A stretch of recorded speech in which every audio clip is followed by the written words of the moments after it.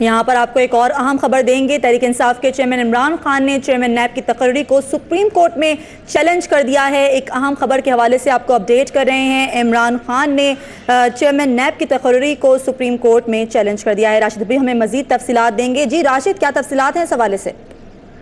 جی پاکستان تحریک انصاف کے سربراہ عمران خان کی جانب سے چیئرمین نیب قمر عثمان کے تقرر کو سپریم کورٹ میں چیلنج کر دیا گیا ہے اور یہ درخواست میں کہا گیا ہے کہ چیئرمین نیب غیر جانبدار شخص نہیں ہے اور ان کا تقرر آئین کے آرٹیکل دفعہ چھ کے منافی ہے۔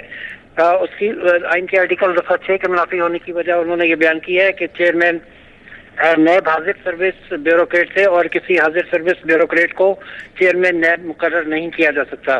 انہوں نے عدالت سے صدا کی ہے کہ چیئرمین نیب کا تقرر جی. کالعدم قرار دے کر حکومت کو آئین کے مطابق درست تقرری کرنے کی ہدایت کی جائے۔ آئین کے مطابق درست تقرری کی ہدایت جاری کی جائے بہت شکریہ آپ کا راشد حبیب۔